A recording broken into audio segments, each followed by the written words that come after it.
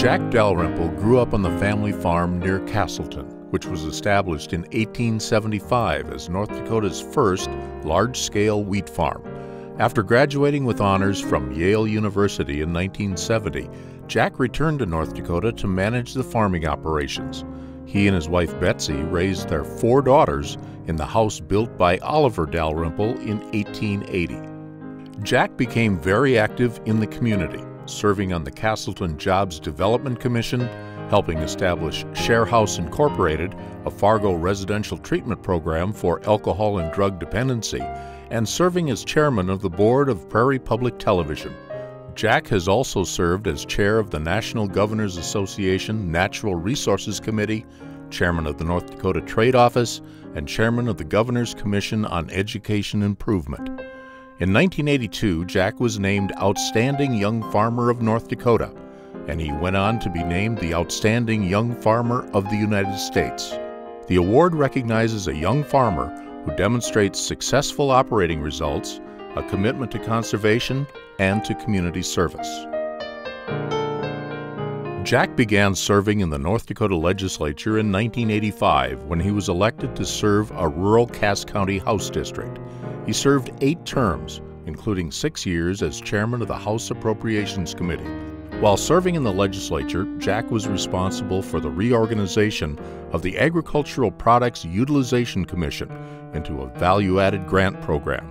He also initiated the State Board of Agricultural Research and Extension and its innovative granting committees.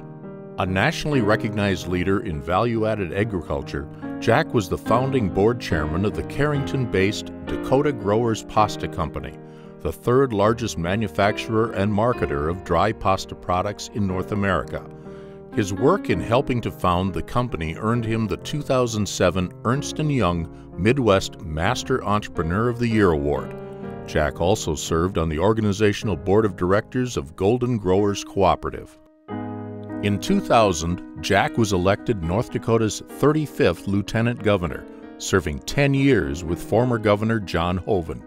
Jack brought to the governor's office an outstanding record of experience in farming, business, and legislative leadership.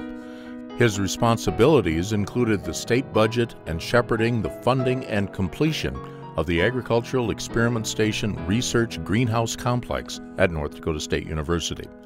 Jack was sworn in as the 32nd governor of North Dakota on December 7, 2010, and he served as the state's chief executive officer until December 15, 2016. He successfully worked to grow and diversify the state economy and to create good jobs and economic opportunities for the people of North Dakota.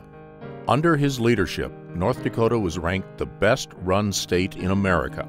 Throughout his governorship, North Dakota residents benefited from low taxes, job growth, wage growth, population growth, and historic investments in education and statewide public infrastructure improvements. During the Dalrymple administration, the state completed the Devils Lake Water Outlet, NDSU's A. Glenn Hill Center, the North Dakota Heritage Center, and the UND School of Medicine and Health Science. These and many other public infrastructure projects were accomplished while maintaining sound fiscal management in the state budget. Today, Jack continues to manage Dalrymple Farms, and he enjoys more free time for hunting, fishing, and family.